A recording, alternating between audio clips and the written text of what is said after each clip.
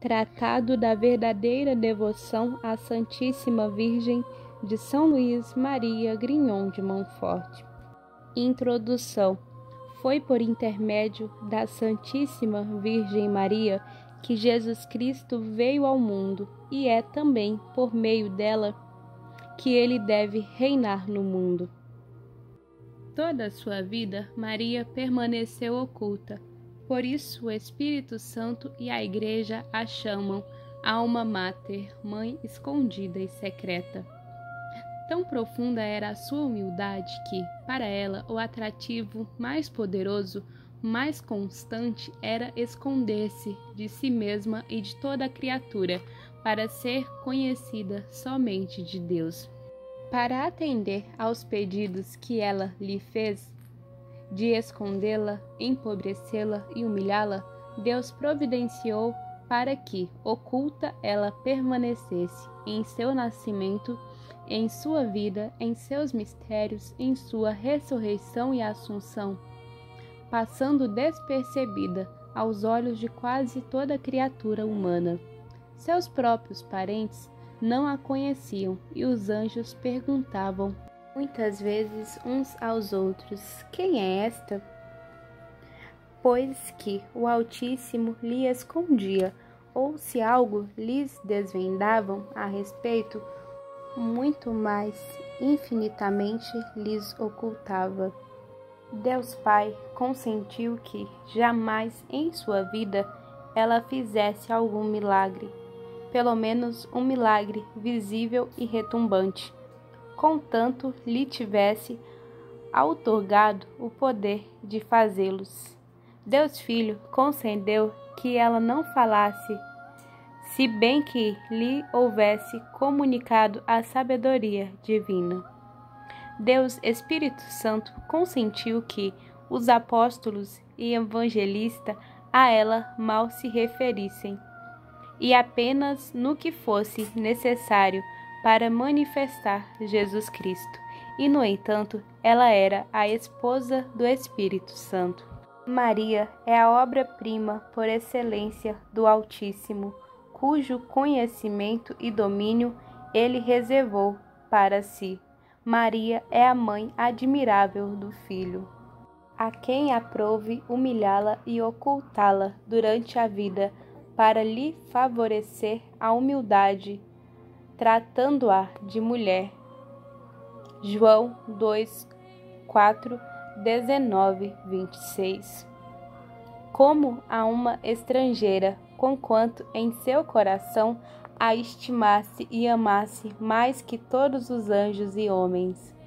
Maria é a fonte selada, Cânticos 4, 12. É a esposa fiel do Espírito Santo, onde só ele pôde penetrar Maria é o santuário, o repouso da Santíssima Trindade, em que Deus está mais magnífica e divinamente que em qualquer outro lugar do universo, sem excetuar seu trono sobre os querubins e serafins. E criatura alguma, pura que seja, pôde aí penetrar sem um grande privilégio. Digo com os santos: Maria Santíssima é o paraíso terrestre do novo Adão, na qual este se encarnou por obra do Espírito Santo para ir operar maravilhas incompreensíveis.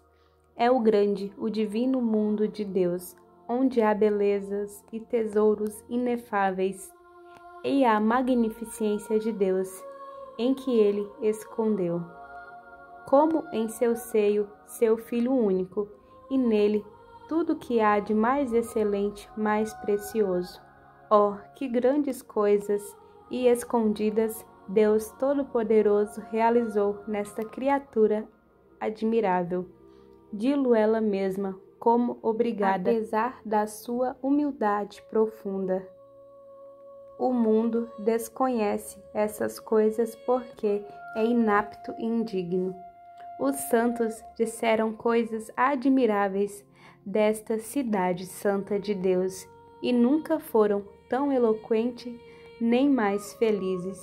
Eles o confessam que, ao tomá-la como tema de suas palavras e de seus escritos, e depois proclamam que é impossível perceber a altura dos seus méritos, que ela elevou até o trono da divindade, que a largura de sua caridade, mais extensa que a terra, não se pode medir, que está além de toda compreensão a grandeza do poder que ela exerce sobre o próprio Deus, e enfim, que a profundeza de sua humildade e de todas as tuas virtudes e graças são um abismo impossível de sondar.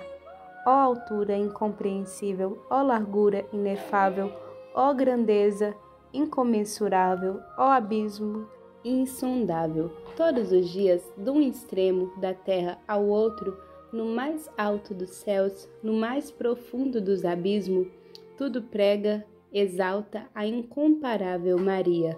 Os nove coros de anjo os homens de todas as idades, condições e religiões, os bons e os maus, os próprios demônios são obrigados, de, de bom ou mau grado, pela força da verdade, proclamar bem-aventurada. Vibra nos céus, como diz São Boaventura, o clamor incessante dos anjos. Sancta, Sancta, Sancta Maria milhões e milhões de vezes. Todos os dias eles lhes dirigem a saudação angélica Ave Maria, prosternando-se diante dela e pedindo-lhe a graça de honrá-los com suas ordens. E a todos se avajanta o príncipe da corte celeste, São Miguel, que é o mais zeloso em redele e procurar toda sorte de homenagens, sempre atento para ter a honra de, a sua palavra, prestar um serviço a algum dos seus servidores.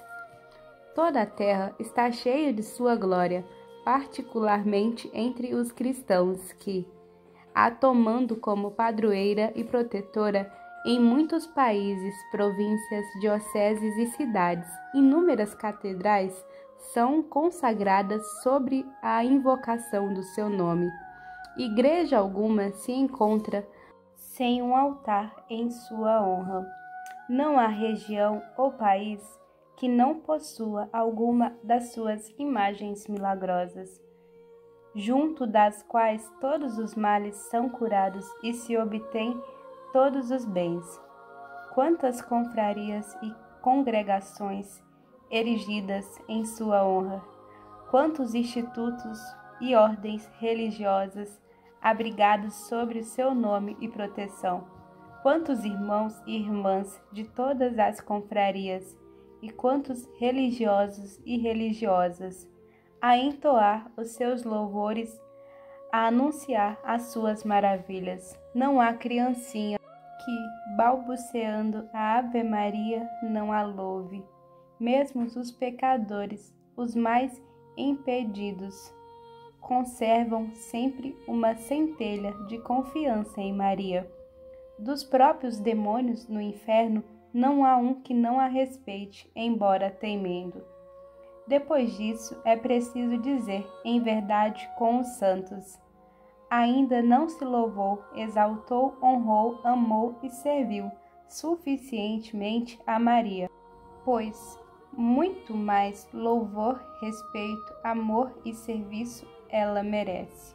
É preciso dizer ainda com o Espírito Santo: toda a glória da filha do rei está no interior. Salmos 44, 14.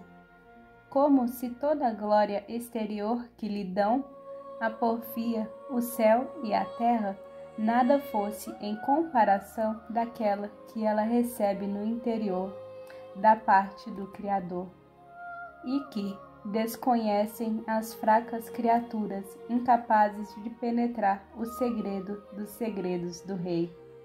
Devemos, portanto, exclamar com o apóstolo: Os olhos não viram, nem os ouvidos não ouviu, nem o coração do homem compreendeu as belezas e as grandezas e excelências de Maria. O milagre dos milagres da graça, da natureza e da glória. Se quiserdes compreender a mãe, diz um santo, compreendei o filho. Ela é uma mãe digna, mãe de Deus. Toda língua aqui emudeça. Meu coração ditou tudo o que acabo de escrever com especial alegria para demonstrar que Maria Santíssima tem sido até aqui desconhecida e que é esta uma das razões porque Jesus Cristo não é conhecido como deve ser.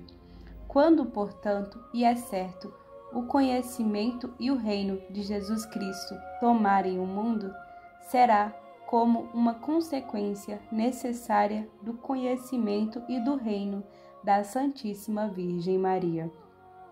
Ela o deu ao mundo a primeira vez e também da segunda o fará resplandecer.